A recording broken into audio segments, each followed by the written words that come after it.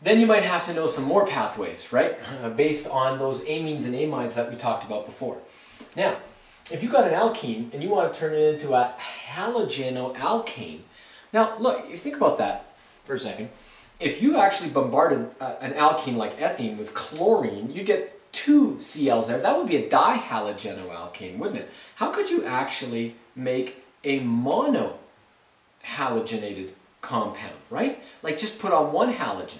Think about it. Okay. And I'm sure that you can come up with an answer like this. Hey, look, if you actually had, say, HCl, not Cl2, but HCl, and you pop the double bond here, one H goes on here, a Cl goes on there, and now you've got one chlorine attached, like a chloroethane, which is what that would be, and that gives you the halogenated hydrocarbon that you want here. So you can do that by an addition reaction of an HCl, right? By the way, if you wanted to go back that way, you just go undergo an elimination reaction, right?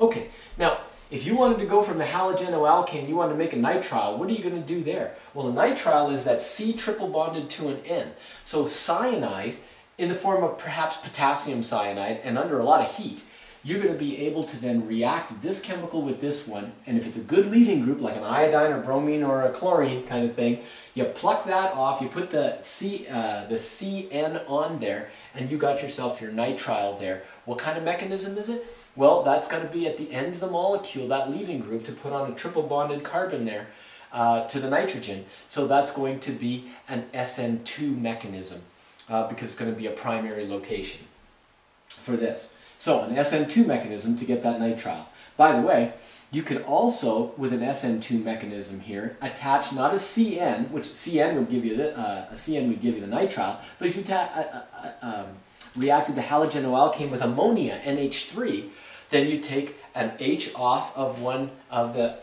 well, you take a, off the leaving group here and put an H onto it from the NH3, and you get an NH2 group on there, that's an amine, right? So an amine, amine, through the same SN2 type of mechanism, you'll be able to get an amine from either a nitrile or a halogenoalkane.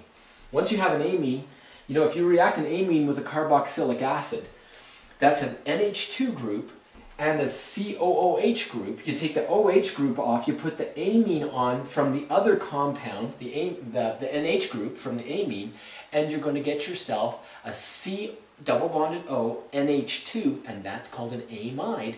So amides can come from amines reacting with carboxylic acids. And you also know that carboxylic acids, when they react with alcohols, when they just react with alcohols, you can form esters from those as well.